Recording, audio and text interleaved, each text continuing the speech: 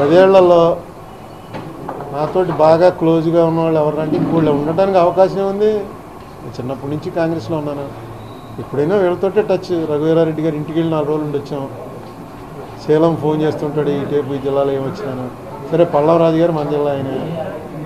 వాళ్ళందరూ రెగ్యులర్గా టచ్లో ఉన్నవాళ్ళు తప్ప కొత్తగా ఒక షర్మిల మాత్రం ఓకే ఆవిడ మామూలుగా రాజశేఖరెడ్డి బతుకున్నప్పుడు కూడా ఆడపిల్ల కదా అంత ఎక్కువగా నాకు జగన్తో ఉన్నంత చనువు లేదు.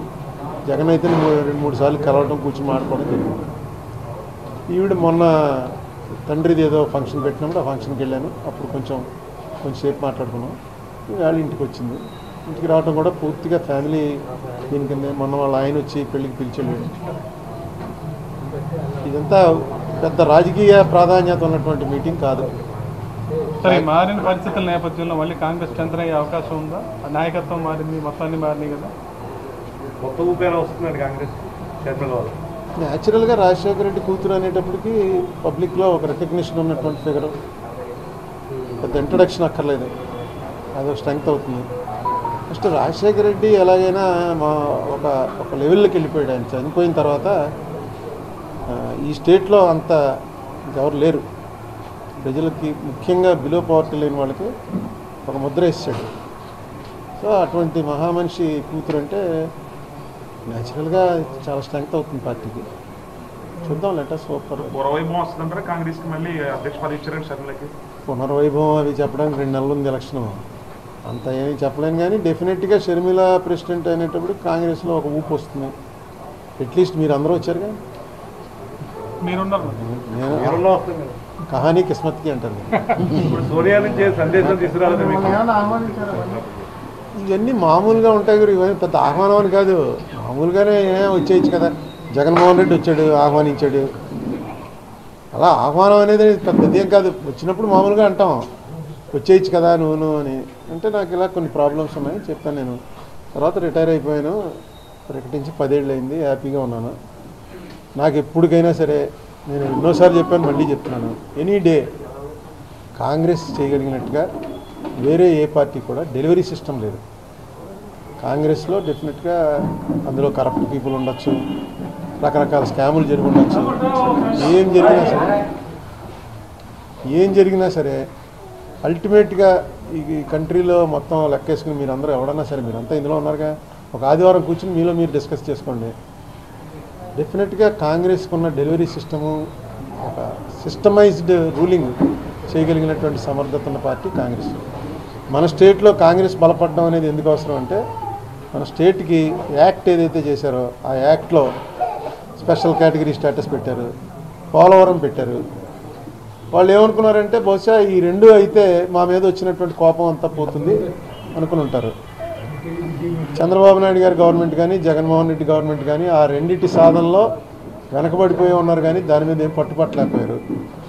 మరి వేరియస్ నిన్నేమో జగన్మోహన్ రెడ్డి గారు ఎక్కడో కాంక్లేవ్లో చెప్తున్నాడు నేను ఏం చేసినా బీజేపీ గవర్నమెంట్కి దగ్గరగా ఉంది కూడా only in the interest of the state అని ఆయన చెప్తున్నాడు. ఈ ఇంతకన్నా ఇంట్రెస్ట్ ఆఫ్ ది స్టేట్ ఏముంటుంది? పోలవరం కన్నా స్పెషల్ కేటగిరీ స్టేటస్ కన్నా పోనీ ఏమన్నా దెబ్బలాడి సాధించాలంటే యాక్ట్లో ఉన్నాయి మనం. ఎందుకు చేస్తాం ఆందోళనలో? యాక్ట్ చేయమని. ఈ చట్టం చేయండి అని ఆందోళన చూసాం కానీ ఈ చట్టాన్ని అమలుపరచండి అన్న ఆందోళన భారతదేశంలో ఎక్కడ జరిగి ఉండదు.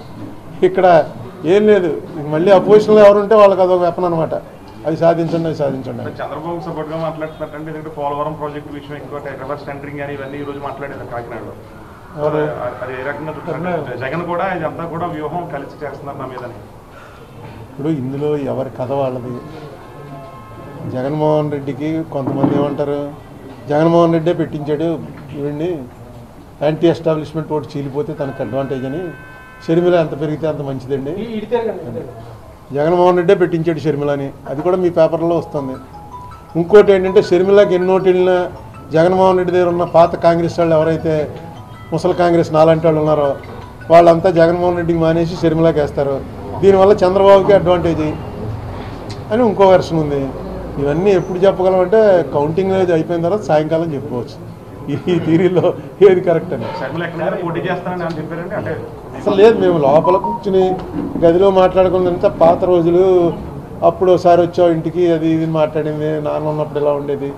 ఇవే మాట్లాడుకున్నాం తప్ప పెద్ద పొలిటికల్గా కనెక్టెడ్ ఏం మాట్లాడుకున్నాం. సోనియా గాంధీ నుంచి ప్రత్యేక సందేశం తీసుకురాలేదండి? ఇది ఓన్లీ ఆవిడ కాకినాడ నుంచి ఏలూరు వెళ్ళాలంటే రాజమండ్రి తప్పించుకుని వెళ్ళలేరు. రాజమండ్రి అనేటప్పటికి నా పేరు రాజశేఖర రెడ్డి కూతురికి నా జ్ఞాపకం రావటం చాలా సహజం. ఈవేళ ఆవిడ కాంగ్రెస్లో ఉంది కాబట్టి వచ్చి వేరే పార్టీలో ఉంటే రాకపోను. కాంగ్రెస్లో ఉంది కాబట్టి ఖచ్చితంగా ఏమి అడ్డంకులు ఉండవు. రా వచ్చినా ఎవరు ఏం తప్పు పట్టరు. అందుకు వచ్చింది. యాజ్ ఏ ఫ్యామిలీగా వాళ్ళు నాతో ఎప్పటి నుంచో అనిల్ మీ- మీరే వచ్చారు కదా రెండు సార్లు వచ్చాడు. వస్తూ ఉంటాడు వాళ్ళు ఆయన వస్తూ ఉంటాడు. ఇతను ఈవిడ కూడా చాలా నేను ఇంతసేపు మాట్లాడింది నా జీవితంలో షర్మిలతో ఇదే మొట్టమొదటిసారి. డెఫినెట్గా అమ్మాయికి చాలా ఎక్స్ప్రెషన్ ఉంది. బాగా మాట్లాడగలదు నాతో మాట్లాడితే నాకు అర్థమైందంటే రాజశేఖర రెడ్డి దగ్గర ఉన్న రాజశేఖర రెడ్డిని చూడగానే మనం మెస్మరైజ్ అయ్యేవాళ్ళం.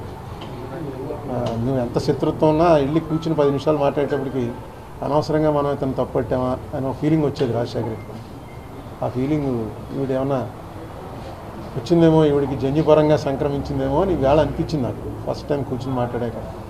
మీరు ఏమైనా రాజకీయ సలహాలు ఏమైనా ఇచ్చారు సార్? షర్మిలకు అవగాహన లేదని రాజకీయ పరమైన సలహాలు ఏమైనా ఇచ్చారు సార్ మీరు? రాజకీయ పరంగా మనం ఏం ఇస్తాం సలహా? సీనియర్గా సార్. ఏముంటాయి చెప్పు ఇగో ఈ సలహా ఇచ్చారా అని అడిగినప్పుడు ఎన్ని ఎలక్షన్ చేసిన అనుభవం మీది? ఈ ఎలక్షన్ గురించి నేనేం డిస్కస్ చేయలేదు. పార్టీని అంటే నడిపించడం ఈ లైన్ కాదు ఈ లైన్లో వెళ్ళమ్మా ఇలా మాట్లాడు ఇలా అని చెప్పారు ఏ? గైడెన్స్ ఇస్తారు కదా సార్.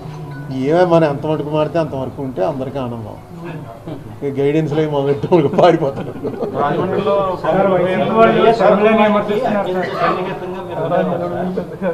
ప్రభుత్వం కూడా వైఎస్ఆర్ కుటుంబానికి కాదు వైఎస్ రాజశేఖర రెడ్డితోటే నేను సన్నిహితం. కుటుంబంతో నేను పెద్ద ఎప్పుడూ లేవు. ఆయన పోయిన తర్వాత ఈవేళ ఇదిగో ఆ రోజు జగన్మోహన్ రెడ్డి వచ్చాడు. వచ్చి ఎన్నేళ్ళు అయింది ఏడేళ్ళు అయింది తర్వాత అనిల్ రెండు సార్లు వచ్చాడు. ఈవిడ ఇప్పుడు వచ్చింది సరే విజయలక్ష్మి గారు అంటే ఆవిడ చాలాసార్లు ఇంట్లో భోజనం చేశాను కాబట్టి ఆవిడ వడ్డించేది. అందుకని ఆవిడతో అంతే పెద్దగా కుటుంబంలో నేను వెళ్ళి మాట్లాడితే వాళ్ళు నా మాట వినేంత సన్నిహితత్వం మాకేం లేదు. అంత క్లోజ్ కాదు మేము. ఇప్పుడు ఇప్పుడు ఈవేళ షర్మిల చాలాసేపు మాట్లాడింది కాబట్టి ఓకే రాజశేఖర రెడ్డికి ఉన్నటువంటి అవతల వాళ్ళని చామ్ చేసే పవరు అమ్మాయికి ఉంది అని వాళ్ళు అనిపించింది.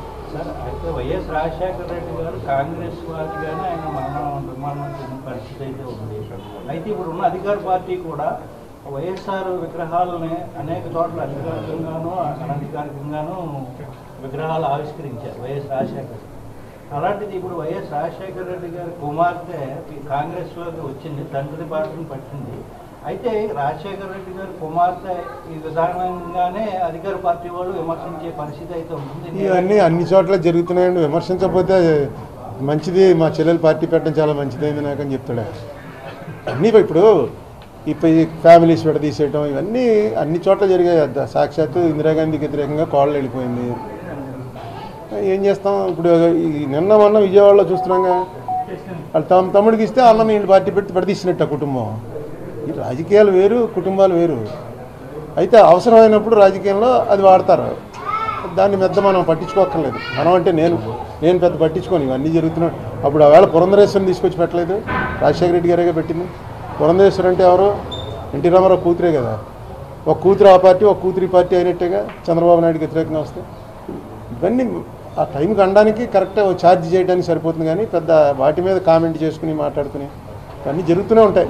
ఇలా ఇట్లా ఇంకా కాసేపు మీరు ఇప్పుడు చెప్పారు. నాకు ఒక అరగంట టైం ఇస్తే ఇలాంటివి వంద చెప్తాను.